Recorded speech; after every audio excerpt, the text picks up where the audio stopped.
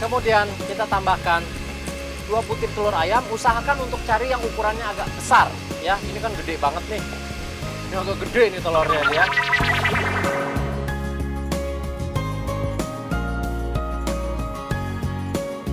Masih di gula-gula dan sekarang saya akan membuat resep yang ketiga yaitu adalah cupcakes. Nah, seperti tadi saya bilang, cupcakes ala gula-gula berbeda.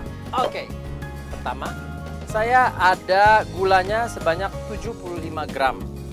Oke, Anda boleh sebenarnya menambahkannya antara 75 sampai 100 gram gula.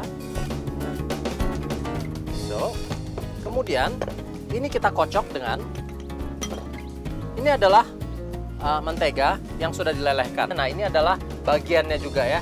Jadi ini sama sekali tidak apa-apa. Bagi bagian bawahnya kalau Anda lihat itu ada putih-putihnya, itu adalah krimnya. Kemudian saya campur dengan 100 ml. Anda boleh pakai minyak. So, 100 ml aja. Minyak sayuran apa aja boleh ya, biar masalah. Ini kita campur. Kemudian ini kita kocok.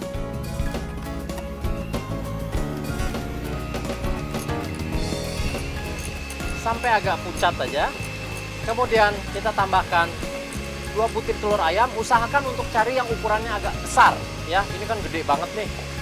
Ini agak gede nih telurnya dia. Oke kemudian ini kita campurkan. Anda juga bisa ngetes kan kalau saya biasanya ajarkan uh, untuk taruh di mangkok lain terus kita cium aromanya. Kita kocok terus. So dua butir um, telur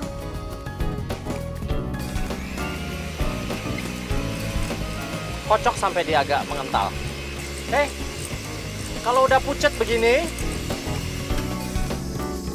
kita akan mencampur semua bahan-bahan yang keringnya, yaitu adalah tepungnya ini sebanyak 125 gram.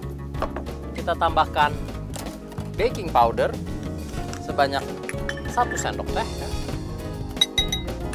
Kita kasih juga garam sebanyak seperdelapan sendok Oke. Lalu semuanya sudah, gulanya sudah, tepungnya udah, baking powdernya udah, garamnya udah. Satu sendok teh kayu manis. Oke, ini kita campur rata. Tepungnya tadi sudah diayak. Ini kita masukkan sambil dikocok, kecepatan rendah aja.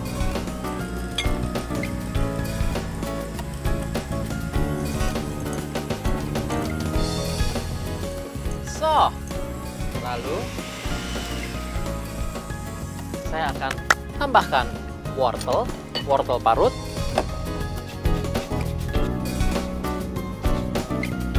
Oke, apel. Ini kita kupas. Potong. Jadi ini adalah kombinasi antara apel dan wortel. So, kita parut kalau apel diparut dia agak hancur ya. Dan selalu masukkan apel itu bagian terakhir karena apel kan menjadi hitam cepat sekali. So lalu kita kasih kurang lebih segenggam kacang segenggam kismis. Kurang lebih ya. Aduk semuanya. So dan barangkali anda notice minggu ini tidak terlalu dibutuhkan oh ada loyang saya. Anda boleh pakai bintang, boleh pakai kotak. Well, sebenarnya kalau misalnya Anda mau bikin yang versi bulat, Anda adalah orang yang senang bulat-bulat, silahkan pakai bulat juga boleh. So, dan ini kita isi.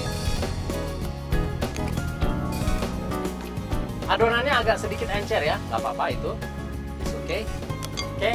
Dan ini kita panggang dalam oven 180 derajat Celcius selama kurang lebih 15 sampai 20 menit. Yang pasti Anda jangan ditinggal-tinggal sekali-sekali lihat oven, dicek-cek dulu udah matang atau belum. Kalau misalnya udah bagus, dia udah naik, pakai uh, um, tusuk sate, ditusuk tengahnya, Anda lihat udah kering, berarti dia udah jadi.